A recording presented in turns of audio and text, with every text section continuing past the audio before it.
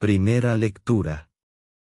Lectura del libro del Deuteronomio, capítulo 8, versículos del 7 al 18.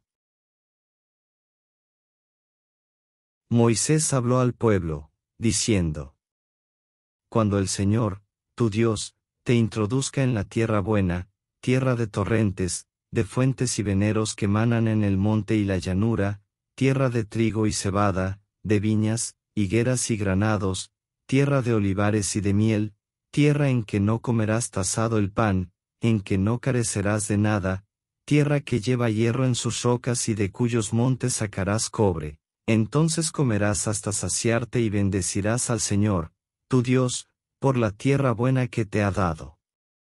Guárdate de olvidar al Señor, tu Dios, no observando sus preceptos, sus mandatos y sus decretos que yo te mando hoy. No sea que, cuando comas hasta saciarte, cuando edifiques casas hermosas y las habites, cuando críen tus reses y ovejas, aumenten tu plata y tu oro, y abundes en todo, se engría tu corazón y olvides al Señor, tu Dios, que te sacó de la tierra de Egipto, de la casa de esclavitud, que te hizo recorrer aquel desierto inmenso y terrible, con serpientes abrasadoras y alacranes, un sequedal sin una gota de agua, que sacó agua para ti de una roca de pedernal, que te alimentó en el desierto con su maná. Que no conocían tus padres, para afligirte y probarte, y para hacerte el bien al final. Y no pienses, por mi fuerza y el poder de mi brazo me he creado estas riquezas. Acuérdate del Señor, tu Dios, que es el quien te da la fuerza para adquirir esa riqueza, a fin de mantener la alianza que juró a tus padres, como lo hace hoy. Palabra de Dios.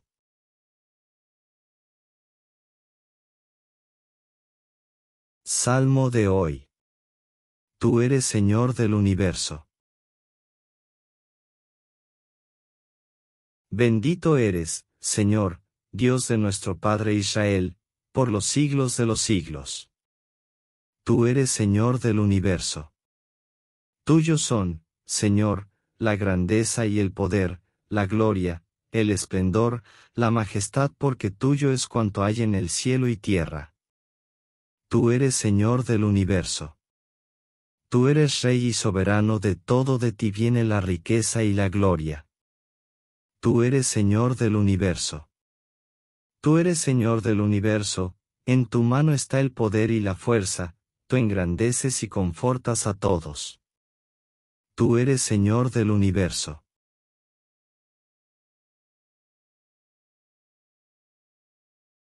Segunda lectura. Lectura de la segunda carta del apóstol San Pablo a los Corintios, capítulo 5, versículos del 17 al 21.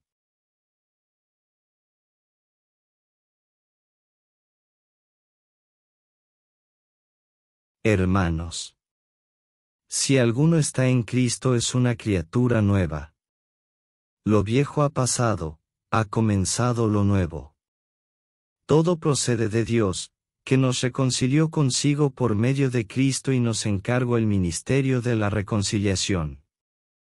Porque Dios mismo estaba en Cristo reconciliando al mundo consigo, sin pedirles cuenta de sus pecados, y ha puesto en nosotros el mensaje de la reconciliación. Por eso, nosotros actuamos como enviados de Cristo, y es como si Dios mismo exhortara por medio de nosotros. En nombre de Cristo os pedimos que os reconciliéis con Dios. Al que no conocía el pecado, lo hizo pecado en favor nuestro, para que nosotros llegáramos a ser justicia de Dios en él. Palabra de Dios.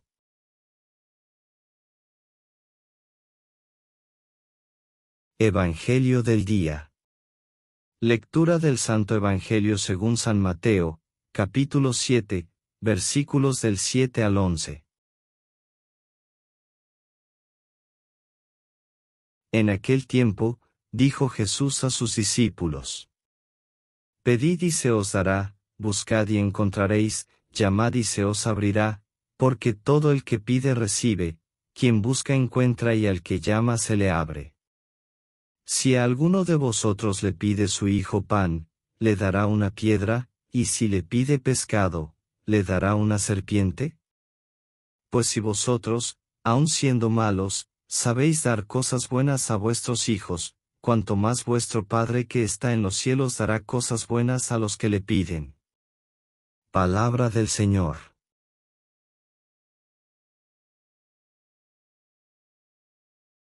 Reflexión de la primera lectura. En este pasaje del Deuteronomio, Moisés habla al pueblo de Israel, recordándoles la generosidad de Dios al llevarlos a una tierra prometida, abundante en recursos y bendiciones. Moisés les advierte sobre el peligro del olvido, un peligro que surge cuando todo va bien, cuando las necesidades están cubiertas y las riquezas se multiplican. En esos momentos, la tentación es olvidar de dónde provienen esas bendiciones y atribuir el éxito a las propias fuerzas y capacidades. Este mensaje es muy relevante en nuestros días. Cuando logramos nuestras metas o alcanzamos el bienestar, es fácil perder de vista que todo lo que tenemos es un regalo de Dios. El éxito no es solo fruto de nuestro esfuerzo, sino también del apoyo y la gracia divina que nos acompaña en cada paso. Moisés nos recuerda que la gratitud y la fidelidad a Dios deben ser constantes, especialmente en tiempos de prosperidad, porque solo Él nos da la fuerza y la capacidad para lograr nuestras metas.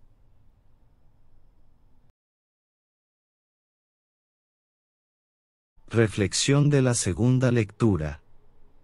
En esta carta, el apóstol Pablo nos ofrece una profunda enseñanza sobre la transformación que ocurre cuando estamos en Cristo.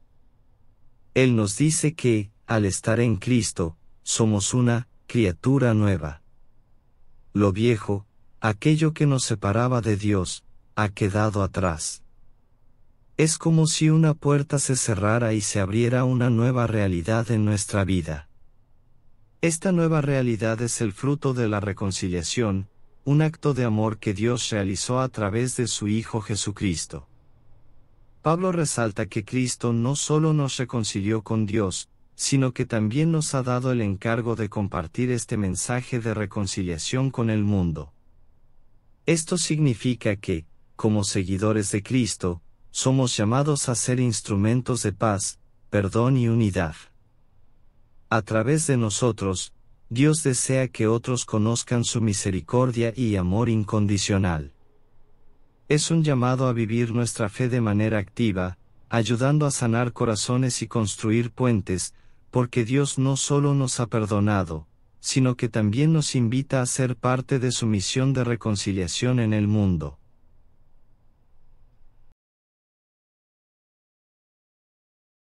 Reflexión del Evangelio de hoy. En este pasaje del Evangelio, Jesús nos revela algo fundamental sobre la relación entre nosotros y Dios, la confianza. Nos invita a pedir, buscar y llamar, asegurándonos que seremos escuchados y atendidos. Estas palabras no solo nos animan a orar con fe, sino también a hacerlo con la certeza de que Dios, como Padre amoroso, siempre está dispuesto a darnos lo que verdaderamente necesitamos. Jesús usa el ejemplo de un Padre terrenal que, a pesar de sus limitaciones, sabe dar cosas buenas a sus hijos. Si esto es cierto en nuestras relaciones humanas, cuanto más no lo será con Dios, que es perfecto en amor y bondad. Él nunca nos da lo que nos dañaría, siempre nos ofrece lo que es bueno para nuestro bienestar, aunque no siempre sea lo que esperábamos. Este Evangelio nos invita a confiar plenamente en la bondad de Dios, a vivir una relación cercana con Él, y a comprender que nuestras oraciones siempre tienen respuesta, aunque a veces no sea la que deseamos, sino la que necesitamos.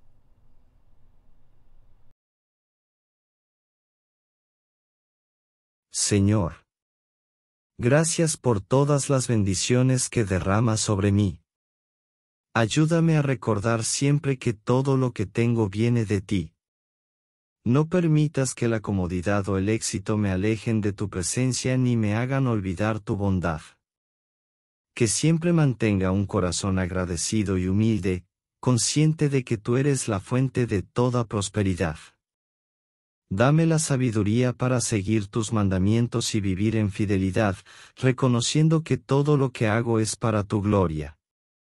Gracias por el regalo de la reconciliación que me has ofrecido a través de tu Hijo Jesucristo. Renueva mi corazón y mi vida, para que pueda vivir como una criatura nueva, dejando atrás todo lo que me separa de ti. Ayúdame a ser un instrumento de tu paz y amor, llevando el mensaje de reconciliación a quienes me rodean. Que, a través de mis palabras y acciones, otros puedan ver tu misericordia y acercarse más a ti. Dame la gracia de vivir siempre en tu justicia y de compartirla con el mundo. Gracias por recordarme que siempre escuchas mis oraciones y conoces mis necesidades antes de que te las pida. Ayúdame a confiar en tu amor incondicional y a tener la certeza de que, en tu tiempo y de la mejor manera, me darás lo que es bueno para mí. Que nunca me falte la fe para pedir, buscar y llamar, sabiendo que en ti siempre encontraré lo que más necesito. Guía mi corazón para que siempre busque tu voluntad, y dame la paciencia para esperar en ti. Amén.